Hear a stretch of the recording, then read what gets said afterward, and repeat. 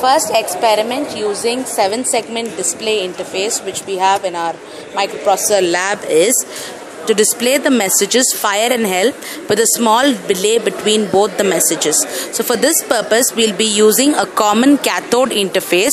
So before we actually write the program we'll have to be writing a 7 segment display table for each of the characters F, I, R, E and H, E, L, P which corresponds to which of the segments are activated for each letter among A, B, C, D E, F, G along with decimal point. Here you can see a diagram of the 7 segment interface using which we will be writing the table for a, for a common cathode interface corresponding to the letters that we want to display on the 7 segment.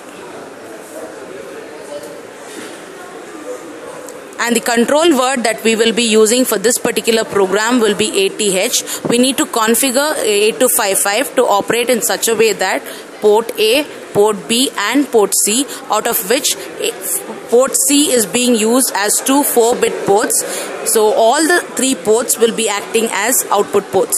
So this can be done by uh, configuring the control word as 80H. Now coming to the actual program, within the data segment, we'll be defining the uh, 7 segment codes for the letters F, I, R, E in the reverse order.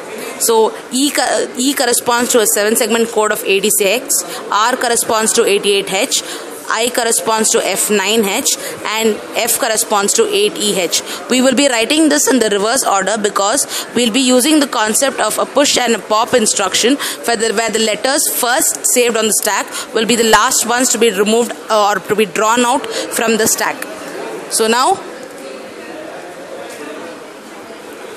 we can also initialize the number of times that uh, the display of fire and help has to be repeated which will be stored in the register BH okay.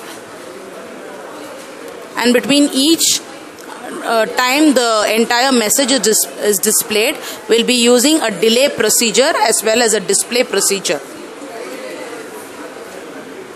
so we are using a delay procedure using the concept of nested loops. So the delay generated by the inner loop will be multiplied by the number specified in the outer loop. Now coming to the actual, uh, coming to the actual, uh, coming to the actual uh, output of the program.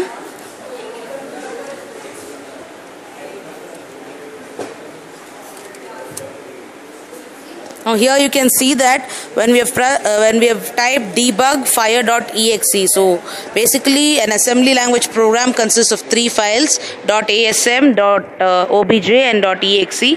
So we have assembled the ASM file, we have linked the OBJ file and now we are using a debug command.